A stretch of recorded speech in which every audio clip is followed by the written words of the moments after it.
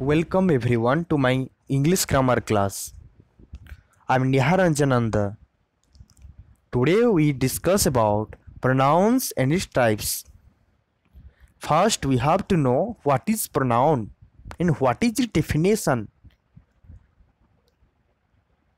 pronouns take the place of a noun to name people places things और ideas तो pronoun एक noun का जगह लेता है। नाउन क्या है? रेफर टू प्लेस थिंग्स और पर्सन जो आदमी, जगह और चीज़ को रेफर करते हैं, उसको नाउन कहते हैं। उसी नाउन का जगह जो ले लेता है, उसको प्रोनाउन कहते हैं। ठीक है? मतलब नाउन के जगह जो इस्तेमाल होता है, वो प्रोनाउन होता है। तो देखेंगे टाइप्स ऑफ़ प्रोनाउन प्रोनाउन कितने तरह के होते हैं और उनका प्रकार क्या है? वो छः प्रकार का होता है। पहला पर्सनल प्रोनाउन तो पर्सनल प्रोनाउन के क्या है, उसके बारे में पहले डिस्कस करेंगे। तो पर्सनल प्रोनाउन उसका नाम से पता चल जाता है, यानी एक पर्सन के जगह जो इस्तेमाल होता है, उसको पर्सनल प्रोनाउन कहते हैं। जैसे कि आई ये एक पर्सन के जगह इस्तेमाल होता है। Me he him she her it we us they them ये सारे जो है, वो एक आदमी या कोई एक चीज़ के जगह इस्तेमाल होते हैं। इसलिए उनको पर्सनल प्रोनाउंस कहते हैं। तो पर्सनल प्रोनाउन क्या है? रेफर टू स्पेसिफिक पर्सनस और थिंक जो कि कोई एक आदमी या कोई चीज़ को रेफर करता है उसको पर्सनल प्रोनाउन कहते हैं। ये जि, जितने सारे एग्जाम्पल्स में मैंने कहा अभी I me he him she her it we us they them ये सारे पर्सनल प्रोनाउन है। क्योंकि एक आदमी के नाम के जगह इस्तेमाल होते हैं या कोई चीज़ के जगह इस्तेमाल होते हैं। एग्ज़ाम्पल दिखेंगे। एग्ज़ाम्पल में कहा गया करेन एट पिज़्ज़ा इधर करेन एट पिज़्ज़ा ठीक है? फिर लिखा गया सी वॉज़ हंगरी तो वो भूखी थी। तो करीन करीन के जगह इधर सी इस्तेमाल हुआ।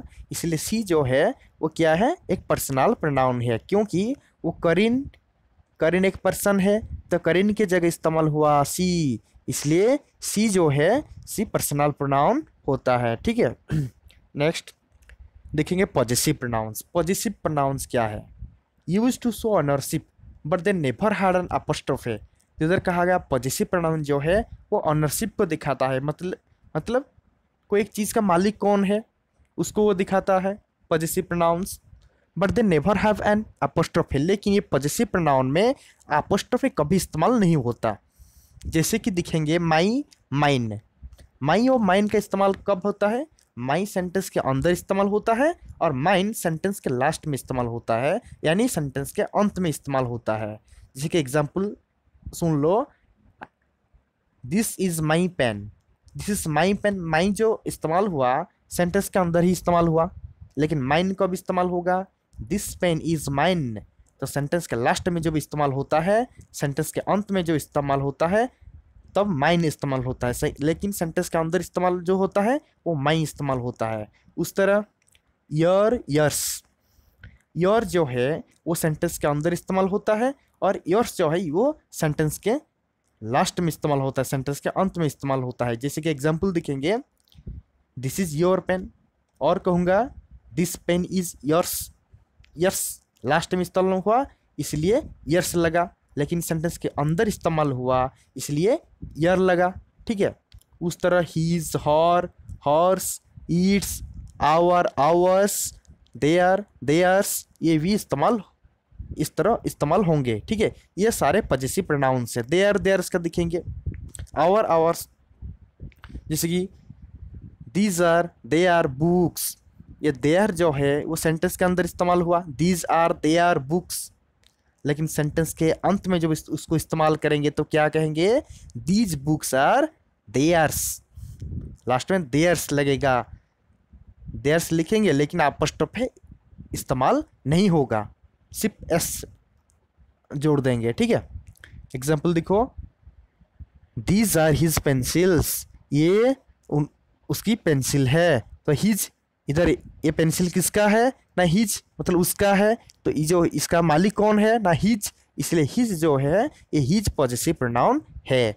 जो चीज़ कोई ऑनरशिप दिखाता है, ठीक है? और नाउन के जगह इस्तेमाल होता है, उसको पॉजिटिव प्रोनाउन कहते हैं। जैसे कि माई माइन, योर योर, जो कुछ भी कहा मैंने, ठीक है? अभी देखेंगे रिफ्लेक्सिव प्रोनाउन रिफ्लेक्सिव प्रोनाउंस क्या है? Personal pronouns that have self और selves are added are the end तो रिफ्लेक्सिव प्रोनाउन हम उसको कहते हैं, जबकि सेल्फ और सेल्फ सेल्फ्स ठीक है? एक पर्सनल प्रोनाउन के अंत में ऐड हो जाता है, ठीक है? तो उसको रिफ्लेक्सिव प्रोनाउन कहते हैं। समझ गए नहीं? तो पर्सनल प्रोनाउन होगा, लेकिन पर्सनल प्रोनाउन से जब सेल्फ और सेल्फ जुड़ा होगा तो रिफ्लेक्सिव प्रोनाउंस बन जाएगा। जैसे एग्जांपल देखो माई माई से हो गया माई सेल्फ मतलब माई एक पर्सनल प्रोनाउन था, लेकिन जब सेल्फ वहाँ जुड़ गया तो माई सेल्फ हो गया, यानी ये अभी रिफ्लेक्सिव प्रोनाउन बन गया। उस तरह हिम हिम से हो गया himself him personal pronoun था। जब सेल्फ लग गया, वो रिफ्लेक्सिव प्रोनाउन बन गया, ठीक है? इस तरह herself itself themselves ये सारे देम ईट और ये सारे पहले से पर्सनल प्रोनाउन थे, लेकिन पर्सनल प्रोनाउन में सेल्फ और सेल्फ जब लग जाता है तो रिफ्लेक्सिव प्रोनाउन बन जाता है। ठीक है। एग्ज़ाम्पल देखो इसका रिफ्लेक्सिव प्रोनाउन का Bob finished the homework himself ठीक है तो बॉब उसका होमवर्क खुद ही कर लिया, खुद ही समाप्त कर लिया उसका होमवर्क तो Bob finish the homework himself himself जो है हिमसेल्फ क्या है? ना वो एक रिफ्लेक्सिव प्रोनाउंस है। क्या है? रिफ्लेक्सिव प्रोनाउंस ठीक है। नेक्स्ट देखेंगे। Fourth indefinite pronoun indefinite pronoun क्या होता है? Pronouns that do not refer to a specific person और थिंक ठीक है? तो इंडिफिनेंट प्रोनाउन जो है, वो कोई एक आदमी या चीज़ को रेफर नहीं करता। कोई पर्टिकुलर आदमी या चीज़ को रेफर नहीं करता तो वो इंडिफिनेट है, ठीक है? जैसे कि समवन इधर कोई पर्टिकुलर आदमी को कहा क्या? समवन यानी कोई भी एक आदमी। इसलिए एक इंडिफिनेंट प्रोनाउन है someone somebody anyone anybody each either none both many few several one everyone no one either neither each ये सारे इंडिफिनाइट प्रोनाउन के दायरे में आते हैं, ठीक है? ये कोई पर्टिकुलर आदमी या कोई पर्टिकुलर चीज़ को रेफर नहीं करते, ठीक है? इसलिए उनको इंडिफिनाइट प्रोनाउन कहते हैं, जितने सारे भी इसका इस्तेमाल मैं अगले वीडियो में बताऊँगा। इधर मैं आपको बताऊँगा तो ये वीडियो ज़्यादा लेंदी हो जाएगा। इसलिए नेक्स्ट वीडियो में ज़रूर इसके बारे में इसका यूजेस क्या है। इस सारे इंडिफरेंट प्रोनाउन के यूजेस में बताऊँगा, ठीक है? भाई देखो इसका एग्ज़ाम्पल दिखते हैं। इधर एग्ज़ाम्पल में कहा गया, someone stole my wallet stole my wallet तो इधर जो कहा गया समवन स्टिल माई वॉलेट कोई मेरा वॉलेट को चुरा लिया, ठीक है? सोमवन स्टोल माई वॉलेट जो कहा गया तो सोमवन जो है, इधर सम्मान इस्तेमाल हुआ मतलब कौन चुरा लिया ये पता नहीं है। मतलब कोई एक आदमी सम वन तो सोमवन जो है, इसलिए वो इनडेफिनाइट प्रोनाउन है। क्योंकि कोई पर्टिकुलर आदमी का नाम तो हमको पता नहीं। सम्मान मतलब कोई एक आदमी उसको चुरा लिया। इसलिए सम्मान जो वर्ड इस्तेमाल हुआ है, वो एक इंडिफिनाइट प्रोनाउन है। ठीक है? अभी देखिए डेमोस्ट्रेटिव प्रोनाउन क्या है? डेमोस्ट्रेटिव प्रोनाउन जो है used to single out one और more nouns refer to in the sentence sentence में एक और एक से ज़्यादा जो नाउन को रेफर किया जाता है, उसको दिखाने के लिए डेमोस्ट्रेटिव प्रोनाउंस का इस्तेमाल होता है। जैसे कि दिस दैट दिस दोज तो ये सारे डेमोस्ट्रेटिव प्रोनाउन के दायरे में आता है आता है, ठीक है? जब मैं कहूँगा दिस इज़ माई बुक एक बुक को मैं रेफ़र करूँगा तो बहुत सारे बुक होंगे, नहीं तो दीज आर माई बुक्स ठीक है? और दो आर हिज बुक्स मतलब डेमोस्ट्रेट ये डेमोस्ट्रेट करता है। कौन सा किसका है? ठीक है? दिस दैट दिस दो जो है, ये चारों को डेमोस्ट्रेटिव प्रोनाउन कहते हैं। ठीक है? तो एग्ज़ाम्पल देखो। Cillian sorry these lemons are sour ठीक है? दिज लेमन्स तो दिज लेमन कौन सा लेमन नहीं, ये ये वाले जितने सारे लेमन है दिज लेमन्स ये जो लेमन्स है, नींबू है, वो सारे सोर टेस्ट उसका कैसा है? सोर मतलब दीज जो कहा गया दीज लेमन्स वो रेफर करता डेमोस्ट्रेट करता है। ठीक है?